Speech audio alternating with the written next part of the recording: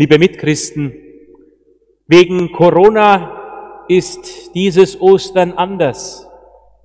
Es heißt daheim bleiben, Abstand halten, sich und andere schützen. Manche bangen um kranke Angehörige und Freunde, ums Auskommen, um den Arbeitsplatz. Das Töne wie der heilige Halle des Exultets fällt spärlich aus, weil die Kirche fast leer ist. Und trotzdem haben wir die neue Osterkerze angezündet und sie in die dunkle Kirche hineingetragen. Und viele von Ihnen haben daheim die Osterkerze angezündet, so dass sich das Licht des Auferstandenen bereits verteilt hat. So wie die warmen Sonnenstrahlen in diesen Frühlingstagen die Natur erblühen lassen, so will das Leuchten des Auferstandenen alle erleuchten, wärmen und verwandeln, die in das Licht der Osterkerze schauen. Ich möchte Sie einladen, unsere neue Osterkerze ein wenig zu betrachten. Sie veranschaulicht im Bild des himmlischen Jerusalem die Hoffnung, die wir Christen an Ostern feiern. Ganz unten, gleichsam außerhalb des Bildes, ist das Alpha. Der Ursprung Jesu des Erlösers, er liegt in längst vergangenen Tagen, in den Tagen der Vorzeit, in Gottes Ewigkeit. Ja, der ewige Sohn Gottes ist vom Himmel herabgestiegen, Mensch geworden, damit keine Zeit, kein menschlicher Abgrund mehr gottlos sein muss. Er kam wirklich als das Licht, das in der Finsternis leuchtet. Unsere Osterkerze zeigt den Horizont. Mit Jesus wurden alle Grenzen und Horizonte menschlichen Daseins aufgerichtet auf den Himmel hin.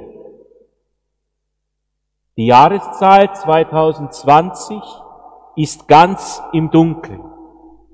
Sinnbild der Krise, in der sich unsere Welt aufgrund der Corona-Pandemie befindet.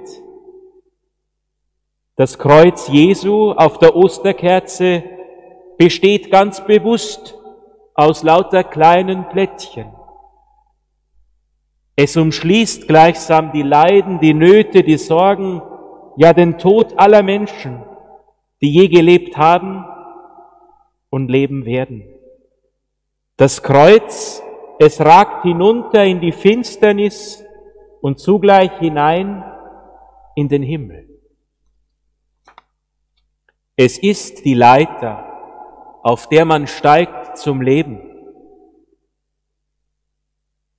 Die fünf Wundmale sind bereits ein wenig vergoldet. Wer sich mit den eigenen Wunden in den Wunden Jesu birgt, für den werden sie zu Himmelspforten. Die Offenbarung des Johannes beschreibt dieses himmlische Jerusalem als eine Stadt mit zwölf Toren. Wir sehen die zwölf Tore in der Osterkerze. Und auf diesen zwölf Toren, so die Offenbarung des Johannes, stehen die Namen der zwölf Stämme Israels. Diese zwölf Stämme Israels sind Vorausbild für das Volk des neuen Bundes, das Jesus in den zwölf Aposteln sammelt. Gerade in der jetzigen Krisenzeit, wo so manche Türen verschlossen bleiben müssen, sind die offenen Tore der himmlischen Stadt Zeichen der Hoffnung, dass sich eines Tages die Türen wieder öffnen werden dass Menschen untereinander, aber auch Gott und Mensch wieder neu begegnen werden. Wir alle wissen, es tut gut, wenn man in die Fremde kommt und erlebt, dass einem Türen und Herzen offen stehen. An Ostern feiern wir den offenen Himmel.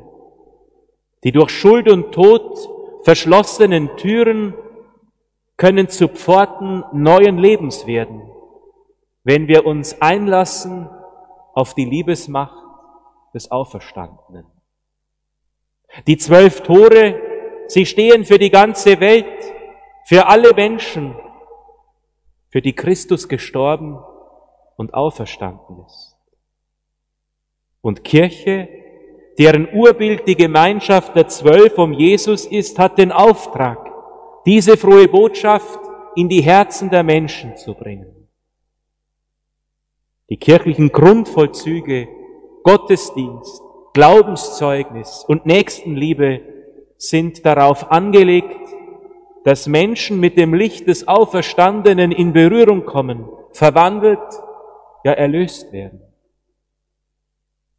Die Mitte des himmlischen Jerusalems, gleichsam ihr Tempel, ist kein Gebäude aus Stein mehr, keine Institution, sondern das Lamm, Gott, die Liebe in Person. Das Lamm ist die Sonne, die Leuchte dieser himmlischen Stadt.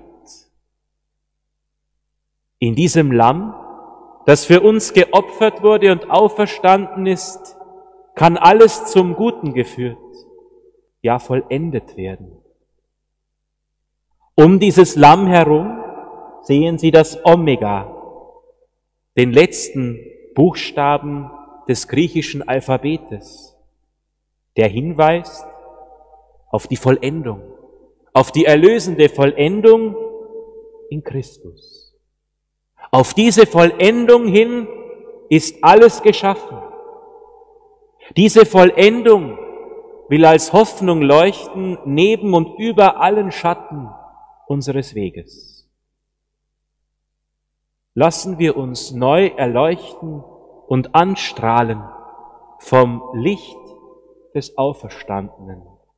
Trauen wir seiner unglaublichen Macht. Möge das Licht seiner Gegenwart uns allen Mut, Hoffnung, Trost und Zuversicht schenken und österliche Freude jetzt unsere Herzen erfüllen. Amen.